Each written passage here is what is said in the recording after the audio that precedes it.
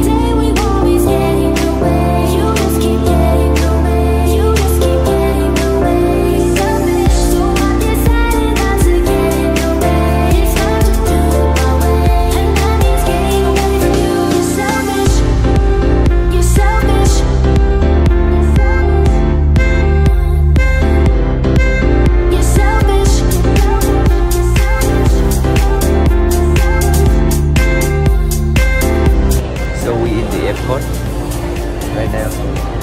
We uh, go to Korea first and then be there for about three hours, and then we go to uh, Vietnam.